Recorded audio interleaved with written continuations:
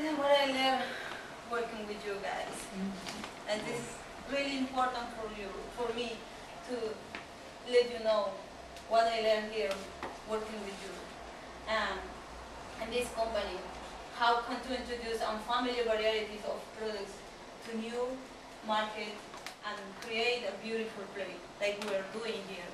Like each person working here, we're making so nice place, really comfortable, really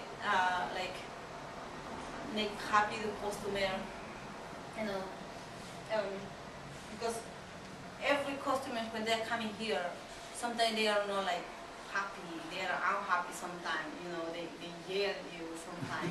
and then you have to be smiling to them and they will be happy or maybe you start to ask them what they're gonna cook or what they're thinking to do for lunch. And I usually do that and say, oh, what, what are you gonna do for lunch? Oh, what you having lunch for yesterday? I mean, sometimes some, some, uh, they say, oh, I don't know what, what, how can to cook this vegetable? I say, oh, we have a book.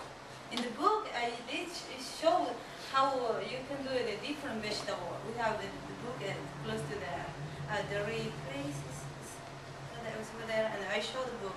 And then, oh, I live uh, one a short time with my friend, and all, all the whole family is a veg, vegetarian, and then, you know, we did like stir fry most of the time, and also we mm. and yeah, it's good way to, you know, to do like relation, have a good relationship with the customer, and they feel like happy, satisfied with your attention them. Yeah. And they coming back soon, really happy, and they're asking, hey, the last time is Anita was helping. Can you please help me decide like which apple is more sweeter or which I'm looking for tart apple or like some different other vegetables, you know. And also how um, how to manage team dynamic and morale. And this is more important for me because you know here everybody like have family in the house and also most of workers are from other from other country. And I never had this kind of experience to work people with different country and they live they leave the family over there and they came here.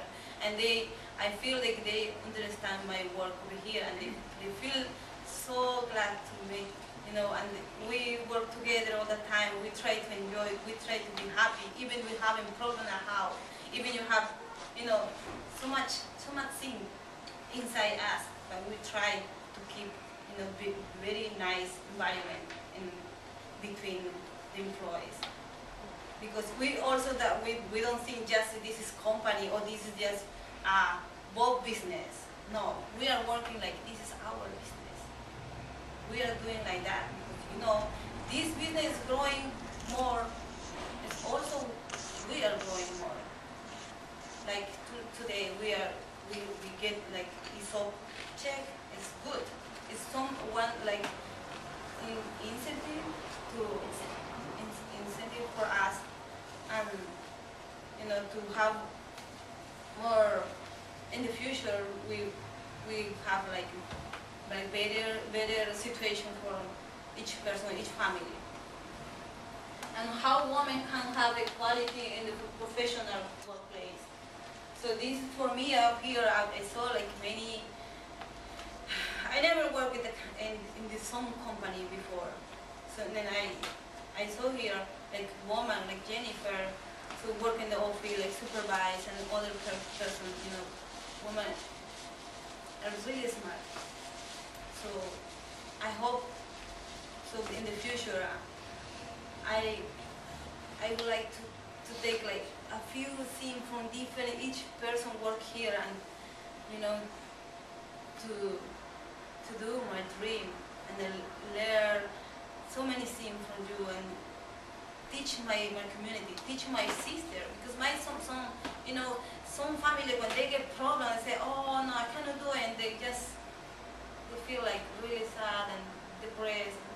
No, we, we need to bring like energy from inside, you know, and keep going to motivate it by myself. You know, feel empowered.